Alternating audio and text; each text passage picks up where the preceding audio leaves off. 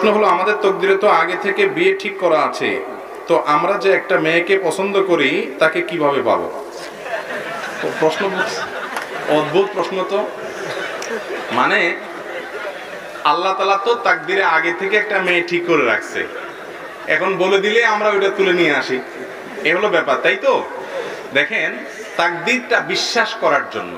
তাকদিরটা কিসের জন্য? বিশ্বাসের জন্য। তাকদিরটা দেখে দেখে আমলের জন্য না। পার্থক্যটা একটু একটা এক্সাম্পল দিয়ে সহজে বুঝবেন। আপনি একজন প্রভাবশালী ব্যক্তির কাছে গেছেন, উনি এমপি সাহেব, মন্ত্রী সাহেব, বা একটা বড় পদস্থ কর্মকর্তা। আপনার একটা কাজ নিয়ে গেছেন। আপনি কাজটা নিয়ে তার কাছ থেকে গেছেন যে, তার কাছ থেকে কাজটা আদায় করতে গেছেন, যেইভাবে যেভাবে আদায় করা যাবে তার সব পলিসি ঠিক করছেন। উনি ঘুষখোর হলে ঘুষের বান্ডিলও নিয়ে গেছেন, কথার কথা। অথবা উনি যেভাবে গেলে, যারা দিয়া ধরলে, বললে, যেভাবে বললে খুশি হবে, আপনার কাজটা করে দিবে, আপনি সেগুলো সব ঠিকঠাক মতো করে নিয়ে গেছেন। এরপরে আপনি জানেন যে ওনার ইচ্ছার উপরে নির্ভরশীল। উনি দিলে হবে, না দিলে হবে না। এই যে আপনি জানেন একটা যে হবে সেটাই যেটা উনি করবেন। আমার চেষ্টা আমি করতেছি মাত্র। এই তকদির হলো ওই বিশ্বাসটা, আর কর্ম হলো ওই চেষ্টাটা।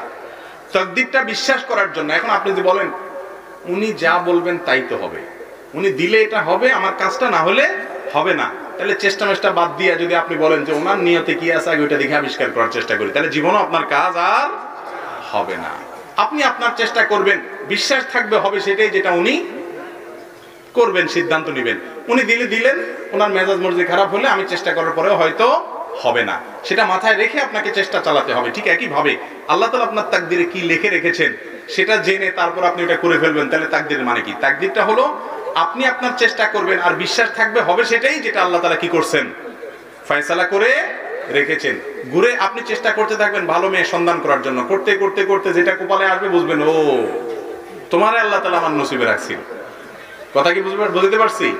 এরপরে পাওয়ার পরে কদর করবেন খুব। যে সুহান আল্লাহ আল্লাহ তকদিরে লিখে রাখছে এই এই জিনিস আমার জন্য, এই মানুষটা আমার জন্য। খুব ইজ্জত করবেন তখন। তাকদিরের লেখন আসছে আমার ঘরে মাসা আল্লাহ কথা কি বুঝতে পারছি? এখন আপনি পরিশ্রম না করে তাকদিরে কি আছে সেটা দেখার জন্য চেষ্টা করতেছেন। এক লোক ওই নামাজের জন্য ডাকছে আর বলে, না, আল্লাহর হুকুম ছাড়া তো কিছু হয় না। আল্লাহ আমার নসিবে নামাজ রাখে না আপনি চেষ্টা করে লাভ নাই, চলে যান। এরকম কিছু বাদর টাইপের মানুষ আছে না?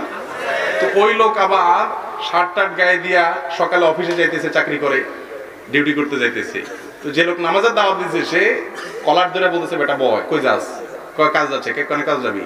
আল্লাহ তাক দিনে যা রাখছে তা খাবি বয় কোনো কাজ যেতে পারবি না।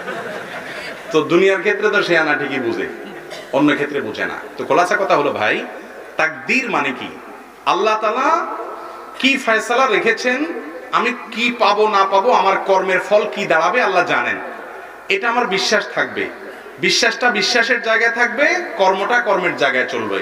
কর্মটাকে বিশ্বাসের সাথে রিলেট করে বিশ্বাসের উপর নির্ভরে কর্মটাকে থামিয়ে দেওয়া বা কর্মটাকে নির্ধারণ করার নির্দেশ আমাদেরকে করা হয় না নবী করিম আলাইহি সাল্লাম বলেছেন এ আমালু তোমরা তোমাদের কাজ করতে থাকো। যেটা নসিবে লেখা আছে, কাজ করতে করতে তুমি সেই জায়গাতেই যাবা। কথা কি বুঝাতে পারছি? অতএব তাকদিরে কোন মেয়ে আল্লাহ লিখে রাখছে, ওইটা তাকদিরে ফেরেশতার কাছ থেকে জেনে ওই কান্দরে মেয়ে উঠে নিয়ে আসবেন, এরকম সিস্টেম নাই। কান্দরে না, হাত ধরে আর কি। জি।